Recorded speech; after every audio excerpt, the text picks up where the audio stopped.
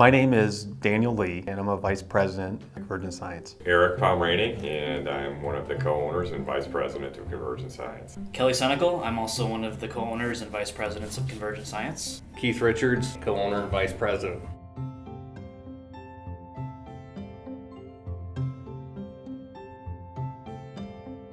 We started the company out of graduate school. We thought what we did in graduate school we'd be able to sell commercially. When we went out in 1997 after starting the company, we thought we could make a business out of what we learned. We found out the hard way that was not going to happen. We decided we had to do something else. We decided to write our own software package. At the time we called it Moses.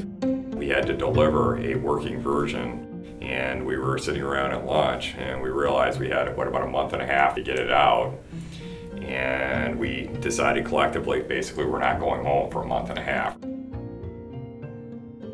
We uh, secured some funding from Caterpillar to develop the software, and about eight years later, we actually had something we thought we could sell. We found out nobody cared. It took a while for us to get anybody at all interested in what we had done. We knew we had done something that was uh, special, uh, unique, and would really help the engine community. In 2008, when we decided to sell the software, is when we basically went into startup mode again. We released the software, first started trying to sell it was when the economy tanked. And you think that'd be like the worst possible time to try and sell software, and the automotive industry was really struggling. I'd never even seen the code, uh, but I believed in my colleagues, and they were very excited. And once people started to embrace it, we grew quite rapidly. Another milestone was uh, back in 2014-ish. We combined forces with Ignite 3D, who was our distributor previously in Europe. Now we have a direct office in Austria, and uh, Rainer Rothbauer runs that local office, and that's allowed us to give better support, do better sales, and just be a better presence in Europe. And some other highlights were when we signed IDAJ in Japan. Yeah, that was that was a huge deal. For many years, IDAJ had distributed our main competitor's product. Every time I would visit somebody, they would tell me the same thing. Uh, your software looks really interesting, but we'd really like to work with IDAJ. And we tell them we, we would too. It's been tremendous the job IDAJ has done. So we're just thrilled to be partnered with them. Can't imagine having a better partner. Uh, what a privilege it is to work with this amazing group of people at Convergent Science. Uh, uh, for some reason, we've just attracted just uh, fantastic individuals, uh, and it all comes together as a, a great team. The development okay. team, they do a lot of debugging, optimizing of the software. They create new submodels. They do most of the coding, obviously. Yeah, originally we had primarily engineers in that role, but as we've gotten bigger and realized that our original structure of the code wasn't maintainable, we've had to introduce computer scientists into the fold. The support team, that's the team that interacts with our customers on a daily basis, whether it's through phone calls, email, in-person meetings. And one thing that I think the support team really likes, they're helping our customers with real engineering, solving problems, um, getting better answers with the simulation. One thing we hadn't anticipated how important that would be is the documentation team. So we've got several different aspects of the documentation team. I mean, they don't just write documentation for the code. They work with the marketing team. We've got white papers, the blogs, and even uh, internal documentation. The sales team, primarily obviously responsible for getting sales. Our sales team is highly technical. They are a big part of our customer interfacing. Not only are they responsible for the initial sale, they're responsible for maintaining good relations with the customer after the initial sale. The marketing team at Convergent Science actually is responsible for a lot of different things. In terms of the website, any sort of brochures, sell sheets, all of our events are organized by the marketing team, like our user conferences. We do a lot of social media. We work with the documentation team a lot on blog posts. Uh, we do video. We have a, a, dedicated team that does the front end, Converge Studio. Those are CS experts. Computers are constantly changing, libraries are changing, operating systems are changing. But It seems like those are the guys that have to be up to speed on all the latest in technology to make sure we're taking advantage of it on our front end. The office staff here at Convergent Science uh, has, is critical to kind of our everyday success. We have Carolyn uh, Noltemeyer, who's our office manager. She kind of does everything. And then we have Dan Slavic, who's our controller. It's somebody who's every day kind of keeping an eye on the finances and making sure everything's handled correctly. Yeah, the IT team is also important around here. We've got a, a cluster down the basement there. This place would be hard to run without them.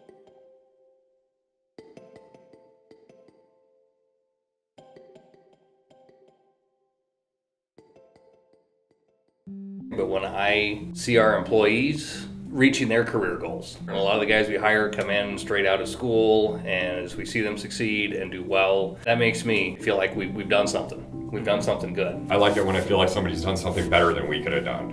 I don't know that we've ever felt like we've made it. We're still hungry. I mean, we don't. We're about 100 people now, as Keith had said uh, earlier.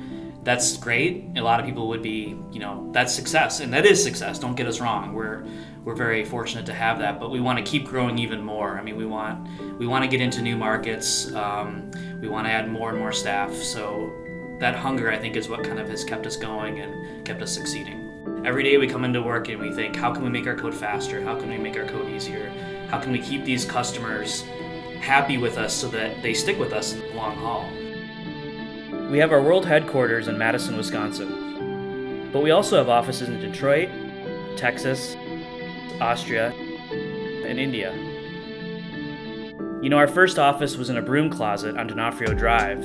Our second office was in the same building but just down the hallway, a little bit bigger. Then our third office was right next door. And then our fourth office was on Century Avenue.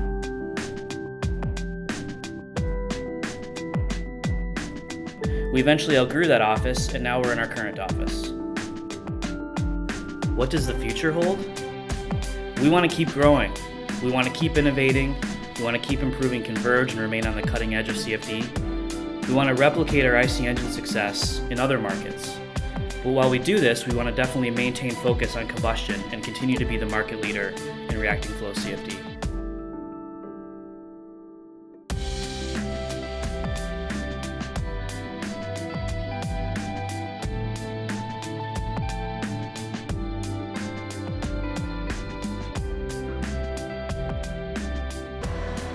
Happy? 10th anniversary. Converge.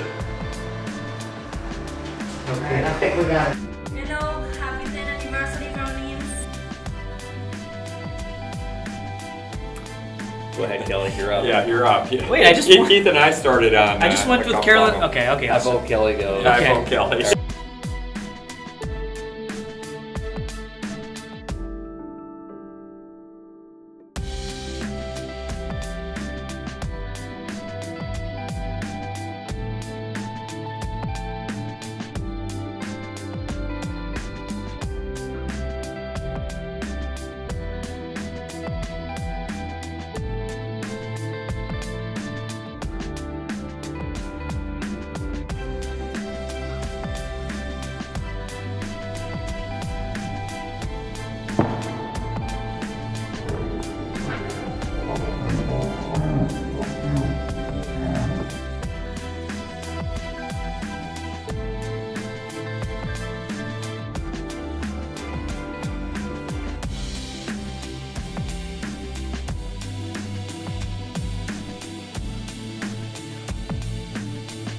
Another low light for us is when Keith hard coded the viscosity. Kelly and I thought we had the code Yeah. working right. You know, I would And think then I repaid something- that four hours So- of my life. This was before Git, where you know just the three of us coding and we were sharing code. Hey, go grab it out of this directory.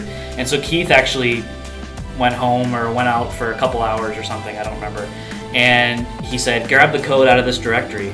And so we were implementing the spray models and looking at spray penetration.